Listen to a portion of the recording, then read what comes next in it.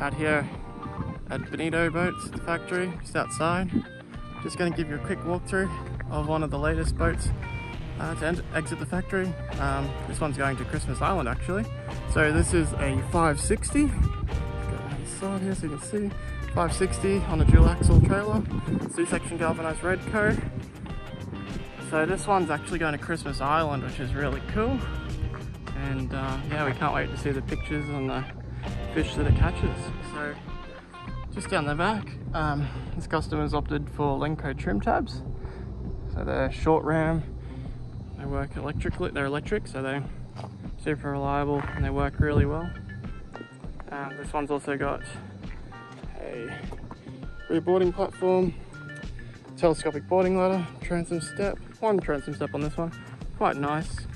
Um, personal preference about whether or not you want one or two. Got outside?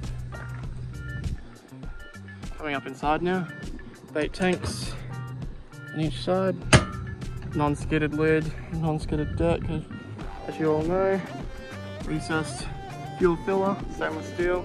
This one's fitted with the rear lounge, uh, so this folds back flush and um, gives you plenty of space and you can also fit your toes under it. Really handy when you're fishing. Just come on down, see underneath. Dual battery setup on this particular boat.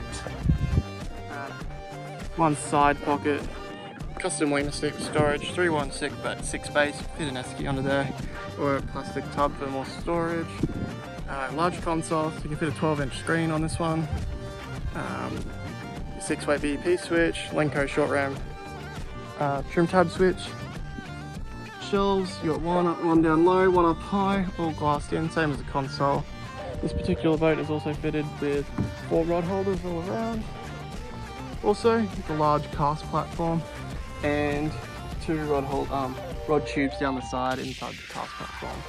So, tons of storage space, super fishable, awesome boat.